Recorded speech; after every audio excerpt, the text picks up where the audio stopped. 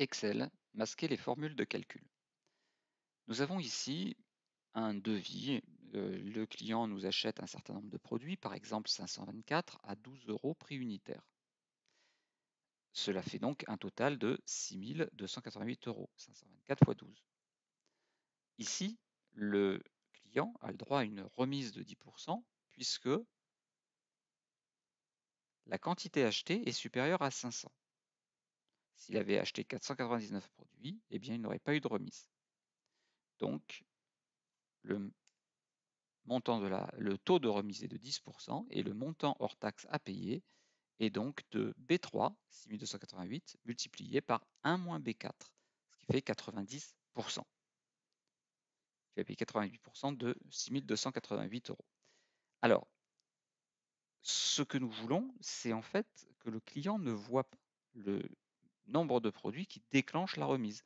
C'est-à-dire que, bien entendu, le client il va voir si je commande 499 produits, j'ai pas de remise. Si j'en commande 500, 501 là plus exactement, eh bien j'ai 10%. Donc il serait utile de cacher cette formule si c'est le client qui remplit ce formulaire euh, en indiquant le nombre de produits achetés. Donc pour faire cela, eh bien on va aller sur la case dont on veut cacher la formule on va cliquer sur le petit bouton qui se trouve ici euh, pour activer le format de cellule, c'est-à-dire la boîte de dialogue qui renferme tous les attributs de cellule, et on va cliquer sur le bouton protection. Ici, on va activer la case à cocher masquer. Je fais OK, et pour l'instant, rien n'est masqué, la formule est toujours visible.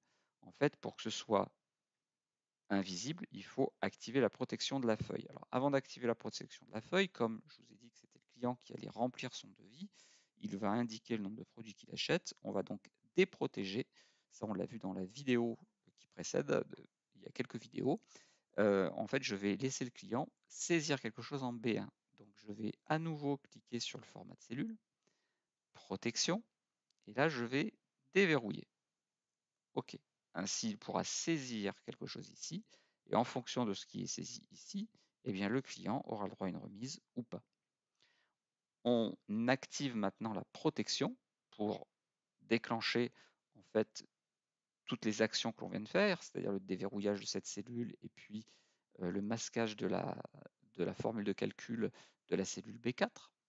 Pour cela, on va aller dans Révision, protéger la feuille on pourrait bien sûr mettre un mot de passe hein, pour que le client ne puisse pas désactiver euh, la protection de la feuille, mais là, je ne le fais pas. Et là, vous voyez que si je clique sur 10%, je n'ai plus de formule. Si j'essaye de mettre un prix de produit à 9 euros, ce n'est pas possible.